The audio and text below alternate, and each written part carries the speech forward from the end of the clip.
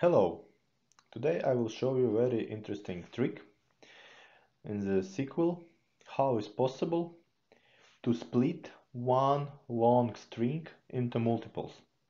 Nowadays it's quite often needed when you can't use XML but you forced to be used some long string. Uh, here you can see the few examples what kind of strings can look like. Yeah, these uh, basic examples I did by myself. Yeah, that uh, here is one long string, and you can see the logic inside that. Uh, beginning of the string starting with a head, it means that uh, after keyword head follows the parameters for the header of the order, for example, and then uh, after each keyword line will follows information about line. Yeah? Here we can see the first line. Here we can see uh, the second line and so on. Uh, it's my fake example but uh, below I can show you the real life example from the real life yeah? In, in this case it's a EDIFACT format some Finnish uh, transportation format, uh, which are very huge. If it's it, if it will be highlighted, you can see how long it is. Yeah, somehow check. Yeah, you, you can see that it's a huge, huge uh, string with many data, and uh, unfortunately, it's not XML. So, but what to what to do and uh, how to process such kind of string? Uh, I made a basic example here, which you can find as well in the comments uh, for this video. And now I can explain you how it works. So at the beginning, we can define the variables, string in it with uh, maximum length. It is a variable for storing our uh, original string. Then we need to have uh, two variables for start and end of the string or, of the substring which we will looking for. Yeah, and then uh, for the beginning uh, we will assign to each of the variables minus one.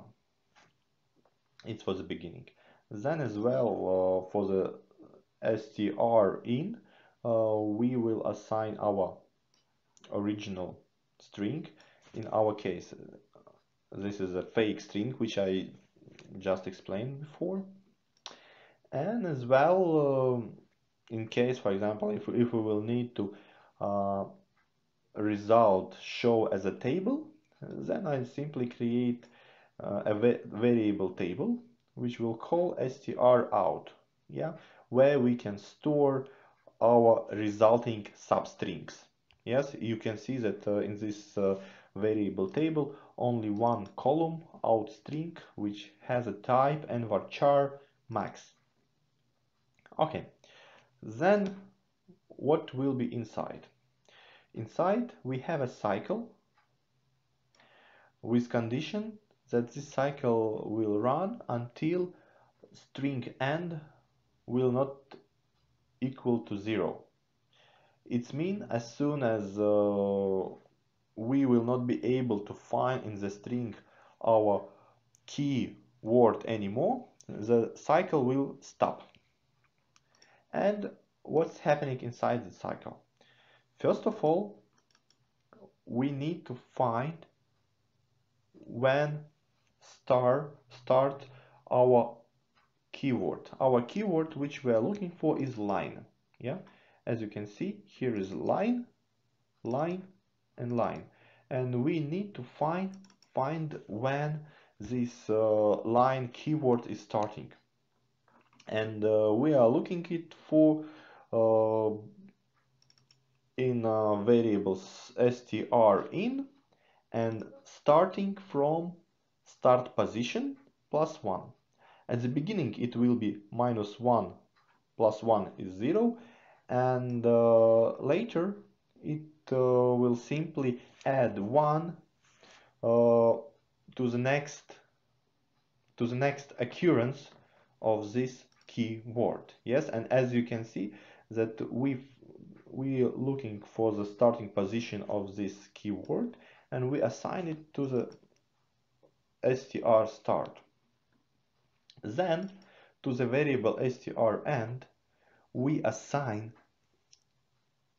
next occurrence of keyword line yeah?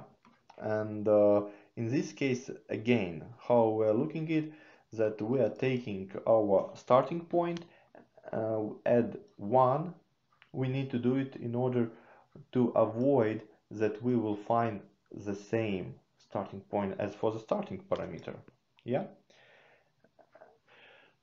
so after we get starting position and ending position of each element inside the string, in other words, we can call it substring, then we can make a query to the string. And at the beginning, we will show uh, the starting point just to understand uh, the position when it starts. Then we will make this condition uh, in order to understand where substring is ended. Uh, I did this uh, condition because uh, for the last substring we will not find the end and uh, we need to make a condition that if str end equal to 0 then end of the string will be the length of the string otherwise we simply will show the next substring occurrence inside. And finally, in order to show our substring, we will need to use SQL uh, standard command substring with different parameters. First of all, we should define our original string str in. Then we define starting point for our substring which we get before. And then in order to define the length of our substring we need from the end of substring yeah it is here and we get it one step before. From this uh, end of the substring we need to subtract starting point of the same string. And uh, then uh, in the result we will get the length of the string. Yes?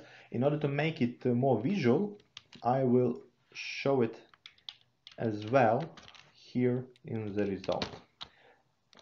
We'll call it length of substring like this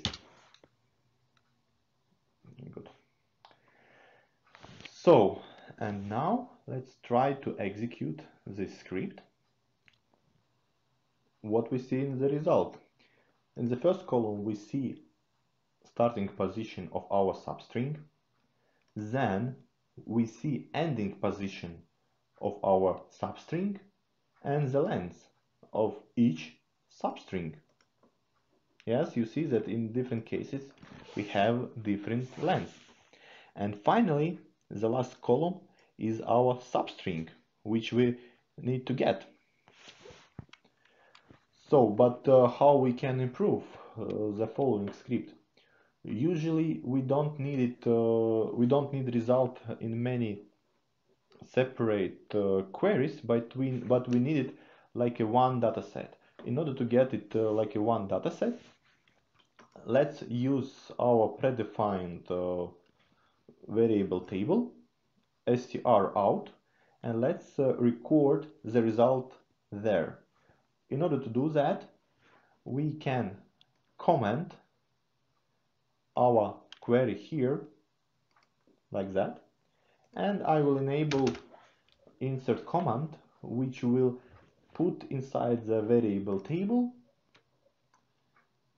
the substring itself and finally at the end of the script we will show the result of this uh, temporary table like that.